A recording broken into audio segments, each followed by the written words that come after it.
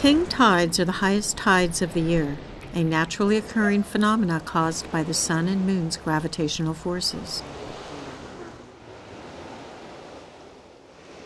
When combined with storm conditions, many coastal areas face extreme flooding.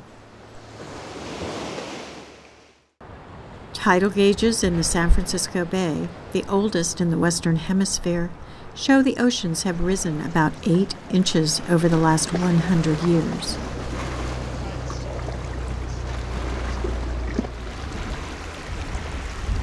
New data suggest an acceleration in higher levels over the last 15 years may be due to climate change. By the year 2100, scientific predictions range from 20 to 55 inch rise in sea levels.